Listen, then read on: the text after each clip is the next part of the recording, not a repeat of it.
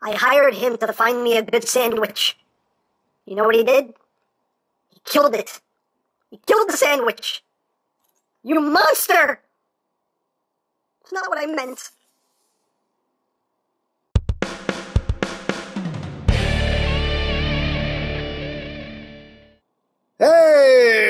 What's up, my peoples? Emgo here, the freaking geek himself, and today we will be reviewing the Hero Cross Hybrid Metal Figuration, Boba Fett. So here we are, and there he is, and first and foremost, as always, we'll take a quick look at the packaging. Uh, very, very simple packaging, just Star Wars, Boba Fett, Star Wars, Star Wars, Star Wars, nothing.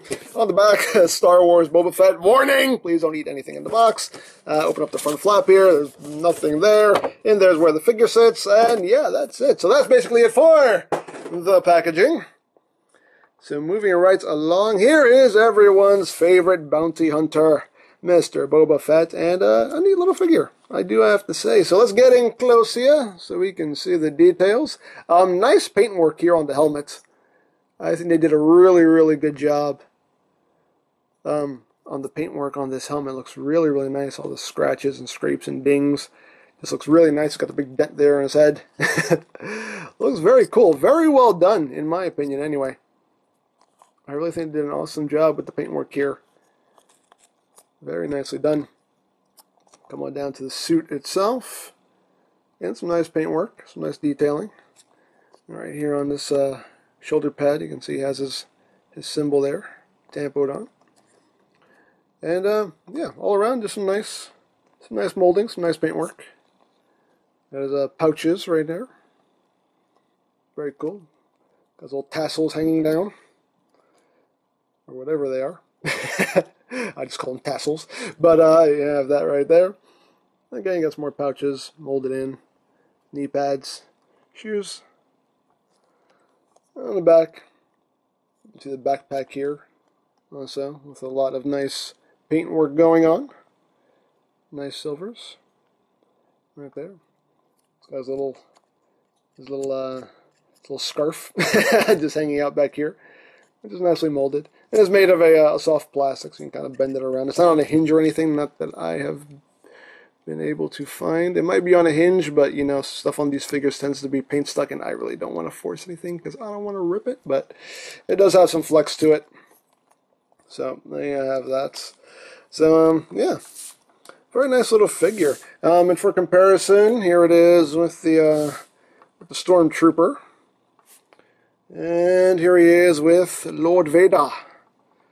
So you can see how he scales there with those guys. So you have that. Hey, Lord Vader! Lord Vader doesn't like to stand too well. He likes to tip over. The Force is, the Force is drunk with him, apparently. I don't know. but there you have that. Um, articulation-wise, uh, his head is on a ball joint, so you can get some wiggly waggly, wiggly waggly movement. Nice rotation. This piece right here, you can move forward. You can move it back if you want, but it's on that hinge there. So you can angle that however you want. The arms, and do a full 360. You do have to watch out for the shoulder pad though.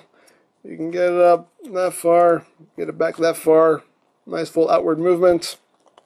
Um, you do have a, uh, a bicep swivel in there. You have a hinge at the elbow, which doesn't allow for much bend. About that much bend right there. The wrists are on a ball joint. The waist is on a ball joint. And depending on how you have a position, you can pretty much see everything that's going on in there. So be wary of that.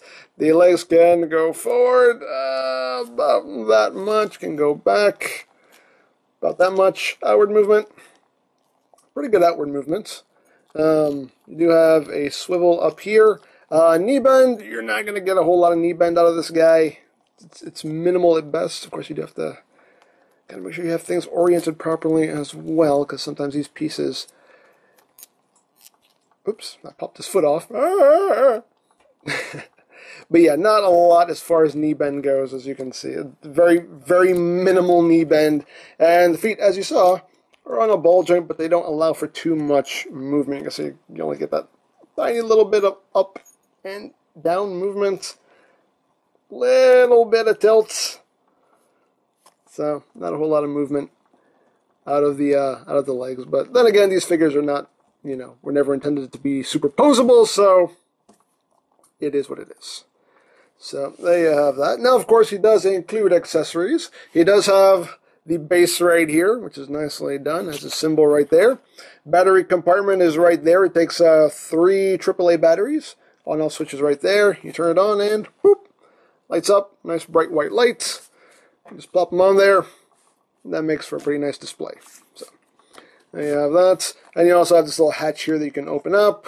So you can insert the uh, the armature here, and you know if, if, you've been watching my Hero Cross reviews, you know that I am not a big fan of these arms. I think they're kind of crappy, but um, this one actually is it's it's serviceable-ish.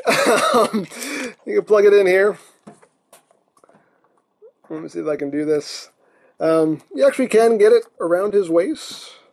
But the thing about it is that these uh, these little gripping claws here, I mean, you can see they pop out pretty easily. There's not a whole lot of uh, a whole lot of friction here, so you don't really grip the figure in any way that is meaningful. I mean, you can get it around his waist, which is all well and good, but by no means is it actually going to hold him up. So, you know, it, it's it's serviceable-ish, but it'd be nice if it could actually really grip on there. Otherwise, it just you know. I don't know. I'm I'm I'm not a big fan of, of these arms, but hey, again, is what it is. But I'll turn this back off. Boop. So there you go. So again, you have the base there with the armature. And he does come with some extra hands. Now he does have the closed fists already installed.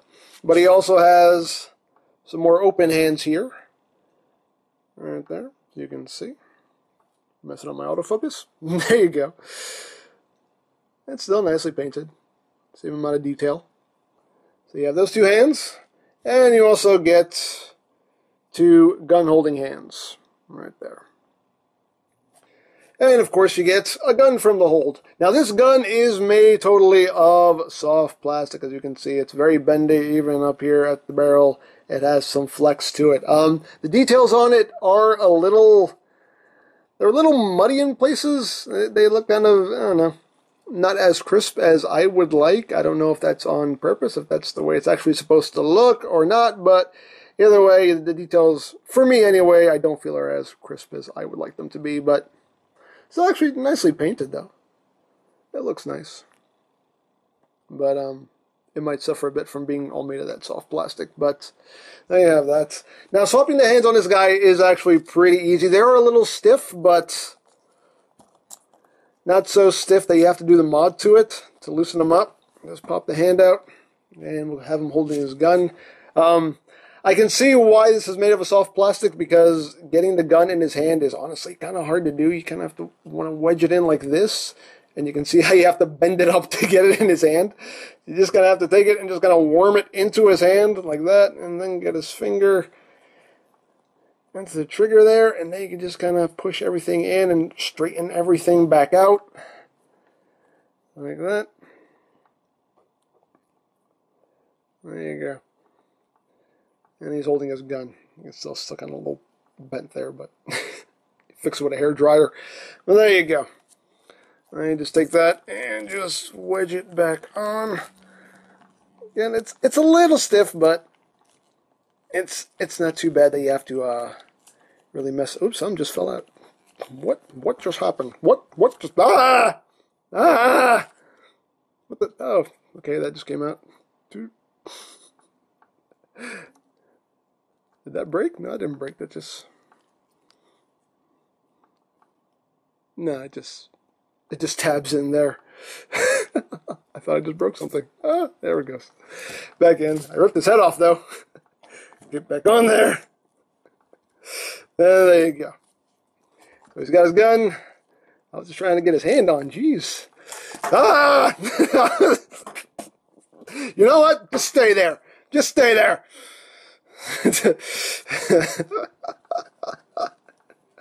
Flashbacks to what happened to his father. Oh my god.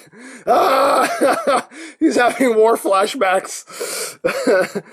Dad, no. oh Lord. Oh lordy, lordy. There you go. Sorry, let me put your head back on. There you go, buddy. There you have it. there he is with his gun. You can plop him there on the stand. And again, makes for a nice display. You can't really hold it too straight just due to that stock there, but there you go. But uh, yeah, and that's basically it for this guy. Um, all in all, though, I mean, nice figure. I mean, um, nothing. You know, I've been messing with him for uh, a good couple of days, and you know, there's nothing on him that feels like fragile. I, I really don't feel like there's anything you really have to be careful for. I mean, these little bits right here, yeah, it did come untabbed on me, but it didn't break. But so these actually you might want to be a little bit careful with. And if they start to pop out on you a little too much, maybe you can just glue them in. But yeah, they just kind of tab in there. But maybe you do want to be a little bit careful with these. But other than that, everything on this guy feels good. Again, he has, you know, like all these figures, he has some die cast in him, so he has a little bit of heft to him, which is always nice. And uh, yeah, so that's basically it. So there you go. I mean, like I always say when I review these figures, I mean, I personally don't collect this style of figure. I'm not into this style of figure, so this is not something that I would personally buy.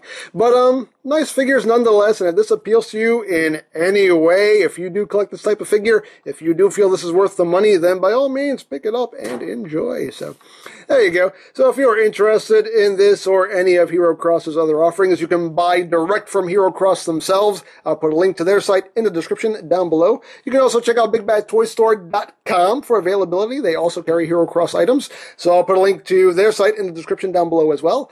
And you can check out my Hero Cross playlist for any reviews you may have missed, also linked in the description down below as well, so do check that out. And I think that's it. So don't forget to check out EmGames, check out LoriPlan, follow me on Twitter, all of that good stuff down in the description below. And I think that's pretty much all there is to say. So there is the Hero Cross Hybrid Metal Figuration Boba Fett. And this is Emgo saying, remember, you don't stop playing because you grow old. You grow old because you stop playing. Be geek, be proud. Palm in your face. Put Captain Solo in the cargo hold. You did very well, Bounty Hunter. Well, thank you, Lord Vader. Now, there is the matter of my payments. Um. Oh, yes, yes, um, uh, about that, um, I'm a little strapped for cash right now. Do you happen to have some kind of, like, bounty hunter layaway plan? You know, I can make payments or something? Um, no, that's, that's not how this works. Um, I catch who you want me to catch and you pay me. This is the part where you pay me. Well, how about an IOU? I have one right here. Oh no, what's happening? It seems like you can't breathe. Oh no, what's, what's going on here? What's what's going on? Oh, oh, oh, oh, oh no. Oh, oh dear. You seem to have choked. How unfortunate. That's how the Sith dine and dash.